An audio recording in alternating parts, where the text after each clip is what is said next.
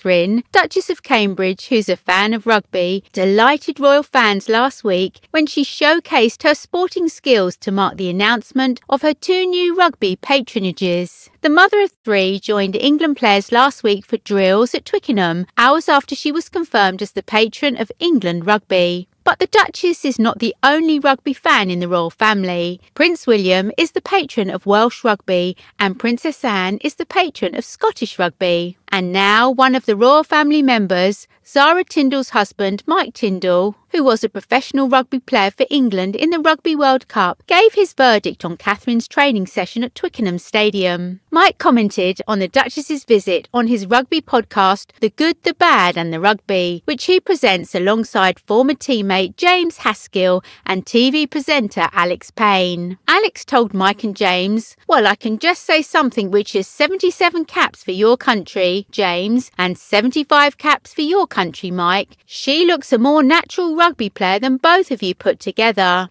Mike had to agree, despite trying to dig up some dirt on his cousin in law. I text Ellis, Genge, and said, Mate, please tell me anything she messed up on so I could sort of family WhatsApp group get to her, Mike quipped. And he said, No, she was actually pretty good and she was really good at kicking. And I was like, Sigh. But she has this competitive nature. Catherine's sporty outing was her debut as the new royal patron of the Rugby Football Union and Rugby Football League. James added, When she was announced, I thought amazing because we know she obviously likes her rugby. But the way she caught the ball, the way she jumped in the line out, the little outside break, she was utterly fantastic. She was really, really, really good. And so I was like, amazing and dual sport. What an amazing ambassador. Catherine even participated in a line out play, where a player can be hoisted in the air by their teammates to receive a ball after it goes out of the field of play. Just imagine anyone who's ever tried it getting thrown up in the line out if you've never done it before is not easy because normally you'll kick the pro in either the nuts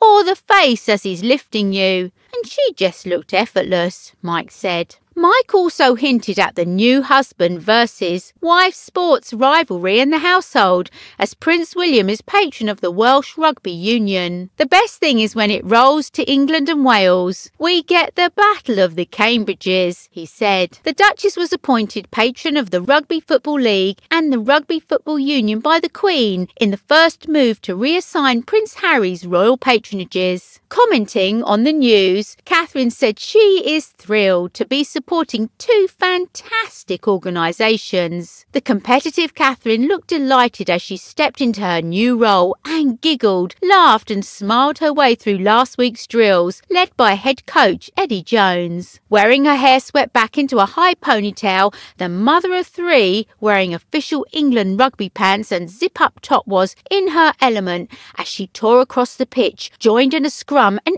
even scored a try. The Duchess, known for her love of sport, flashed a smile as she ran towards the try line and threw her arms up in celebration. Proving she's not afraid of getting stuck in, Catherine put her arms around England players Jamie George and Ellis Genge in a mock scrum and was lifted into the air in a line-up, prompting a fit of giggles. She also took part in simple throwing and catching exercises and tried a drop kick.